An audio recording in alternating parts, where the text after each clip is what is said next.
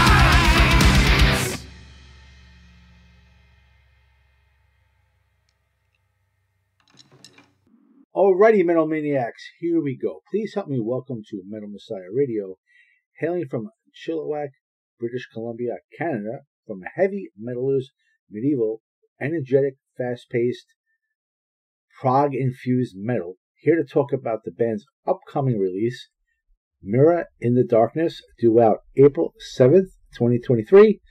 Joining us, we have bassist and backup vocalist Eric Wesa.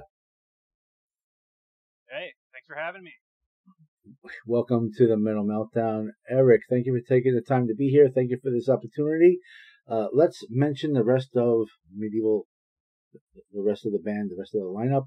Uh, I see you have Liam Collingwood as the vocalist, and uh, Gary Cordsen on lead guitar, Brett Gibbs on rhythm guitar, lead guitar, backing vocals, yourself, as I mentioned, Eric Wesa on backup vocals and bass, and your drummer, Chris Malcolmson.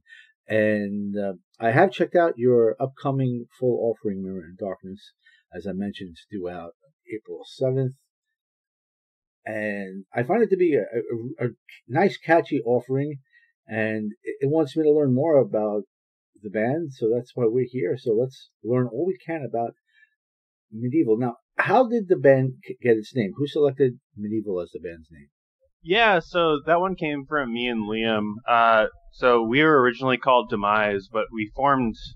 Um, it's actually been the, first and only band I've ever been in, and this is all the way back in like 2011 uh, as a high school band. Um, but when we graduated, me and Liam, we decided, you know, we wanted to keep pursuing the music, but uh, that name was used uh, a lot is pretty generic, so we had to pick a few different names, and uh, one of the ones that came up was medieval, um, I think just the name uh, medieval just gives off like a little bit of like a storytelling feeling, a little, little bit of a fantasy vibe, and it's because of like the lyrics that we wanted to tell had a bit more of a um, like storytelling. So um, that's why we chose it, and um, we we changed the spelling so it's almost like medieval.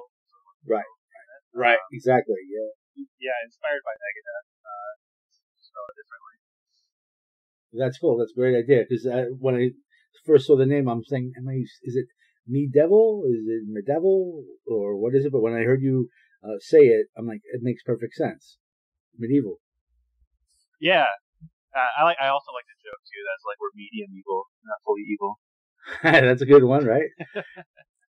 and I see that the band formed in 2014, and uh, this upcoming album is actually your sophomore release, and your debut was released in uh, 2016 called Conductor of Storm. And was that self-released? Yeah, both albums are self-released. I see. And uh, are you searching for a label, or is it? Yeah, we're we're not really uh, searching. I mean, um, I, I think one of the one of the biggest things for us, you know, is is we want to make sure that if we were to work with a label, that we get com- like full ownership of our stuff. Um, we right. We we take uh, like copyrights and stuff uh, pretty seriously. So, um, yeah. So getting a label would be nice, but we haven't really. You know, we, we have jobs and we kind of self fund it, and um, we're okay doing that because we get to make all the decisions ourselves on what the sound should should be. I hear you. That makes sense. And maybe, you know, down the road when you get bigger or more popular or just too busy, maybe at that point a label might work out for you. But if you could do it yourself, you're probably better off. Make yourself more money. Yeah, for sure. Yeah, and you know, if it happens, uh, that that'd be awesome. right, right. So, how do your tunes all come together? What's the process like? Um, do you have a process as far as who writes the music and who writes the words? Uh, we don't have necessarily something written down in stone of how we have to do things, but um, like the for the first album, um, a lot of uh, like half the album was written by me and Liam all the way back in high school. But then uh, Brett um, and Gary also, when they joined, they took a big um, big place in the writing process. Um, often, Brett or Gary would come in with a full song um, recorded. Uh, Brett likes to record um, also MIDI drums and stuff as well, and kind of produces a full layout as a demo. Um, whereas Gary would come up with like a full song of riffs and we'd all get together um, when when we get the kind of like the version that they want to show off, and just kind of pick it apart, you know, rearrange it. I I put a lot of um, thought into the arrangements of things as well, and um, you know, move things around until we get, and we'll practice them, of course, until we feel like uh, it's it's the kind of like the complete song, and you know, we we like to trim the fat, I guess. Um, and then the lyrics typically come at the end, so we'll have the full instrumental all demoed out and recorded, and then Liam would go off and get inspired by the music, um, come up with lyrics based on a theme or central theme or concept that he has, um, and then sometimes if he's got some parts missing or he has a block too, I'll I'll work with him as well, and uh, we'll fill in the gaps on the lyric side. So that's how most of the songs come up. But um, there's also some that are more spontaneous. Like on the second album, there's a song called "Bailed" that came out of a cabin jam. Um, got really baked, and then just started playing some bass riffs, and then that formed into that song. That's magical, right? And that Mirror in the Darkness uh, was this? Uh, do you have like your own studio, or could you tell us about the making of this album? Uh, what studio it was recorded in, and who was responsible for mixing, mastering, and producing? Yes. Um, so we started off recording the drums. Um, we recorded them in uh, Maple Ridge uh, at a place called Turtle Recordings. Um, they have a uh, the guy named Larry Anshell. He's got a really nice studio there. Um, and you know drums are the biggest thing that you know we didn't have the space to really record drums so we wanted to go to a studio for that but um, the rest of the album was actually recorded at home at brett's place um, we did all the bass guitars and vocals there and um, so it was it was just me and brett kind of um, handling the process we'd both be in the room and you know we'd take liam in and record stuff um, I think Gary, when he was doing his solos, he actually recorded from his place and would send us the tracks. Um, and uh, yeah, and then we do all the mixing ourselves in um, Ableton Live. Um, we worked with Ken Schellenberg, who helped us fill in uh, for a drummer bet- between having Ross and our first drummer, and then Chris. Um, Ken was helping us out. He actually sent us some orchestral arrangements as well, so um, which he kind of wrote and did did at his place. So, um, but yeah, everything's mixed by me and Brett, and then it was mastered by uh, Jeff Black, who's uh, known for being in the band Gatekeeper. Cool. I hear a little piano within this the the album. Who's who's doing the piano work? Yeah, so um, the piano it depends on the song. So on No Peace and Rest and Mirror in the Darkness, um, the piano on those songs uh, are by Ken. Um, and then on Pray for Me and Veiled's got a bit of a synth as well, which is kind of like a synth piano. Um, those were recorded by Brett actually. Huh, that's that's cool. So you're pretty much a do-it-yourself band. I take it. Yeah. Do most, yeah, mostly everything like yourself. Do as much as we can ourselves. That's yeah, that's great. How about the cover art? I find it to be excellent. It fits the name of the album really well, Mirror in the Darkness. So who created this CD art, and who also let me know who designed your logo? Yeah, so um, the uh, the album art was um, done by one of my previous coworkers. Uh, it was um, when back when I worked at uh, EA. I'm actually a game developer also as my career. Interesting. Um, and uh, she, uh, her name's Ivana Vasil- Vasilova, and she's um, amazing artist. She she worked with me, and I just knew she was the correct choice for uh, producing this album art. Um, and you know, we kind of came with her uh, with a mood board, so we just had a bunch of colors and themes and uh, ideas, and then she just kind of took them away for a week and came back and had kind of like a rough sketch um, of what ended up being what you see um, in the album art. Um, so yeah, she did a great job with that. Oh, really? Yeah. And then our logo was done by uh, Mod Black Moon. Um, they do a bunch of logos for bands, and um, we had two logos. Um, the first one was on our first album, and then we got the same person to just kind of do like a re- rejuvenated version to kind of like uh, uh, make it a bit more uh, modern. What formats will Mirror in the Darkness be available in? Yeah, so it'll be on CD, so you'll be able to get physical editions of it, as well as uh, digital on all uh, streaming platforms. Um, we're working with CD Baby as well um, as a distributor to get our physical copies uh, on Amazon as well, so that way people all over should be able to get copies, hopefully. Excellent. So I, it's very important that we, we give links to the fans.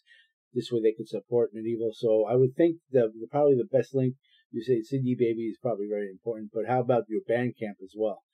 Let's give that link. Medevil, M E D E V I L dot bandcamp dot com. That's probably like the most important link. And then you have your Facebook, Medevil Band, and you have on your Instagram, Medevil Official. And then you also are available on Spotify, iTunes, and as you mentioned, CD Baby. So I, I guess you would think that the Bandcamp would be the most important link for the fans to have in order to get either the digital download or, or the CDs. Um, we're we're considering to put the CDs on there as well. Uh, we're just seeing how much how wide the Amazon ones can go, but we'll probably end up putting the CDs on there too. But you can already pre-order the digital one, and um, you'll get some early tracks before the album, album comes out as well if you do that. That's interesting. Oh, that's cool. Good idea. And what about other merch? What do you currently have available for your fans? Do you have shirts, hoodies, anything like that? Yeah, we got a uh, like three variations of T-shirts that we have. Um, we I think we got some like Medevil logo water bottles or something that uh, we we hand out sometimes. So we That's just kind of like got them That's made. something different. Nice. Yeah, um, and something we're actually have upcoming, which is I'm really excited about. Um, we're working with a local brewery in Chilliwack to produce uh, a Medevil beer, um, which is a hazy pale ale. Nice. Will will come in cans too, uh, which will have the album art and stuff on it as well. So, um, uh, yeah, we're going to be releasing the beer as part of a listening party that we'll have at the end of March. Oh, cool. That sounds like fun. And I was uh, checking out your YouTube channel. That's Medevil, M E D E V I L on YouTube.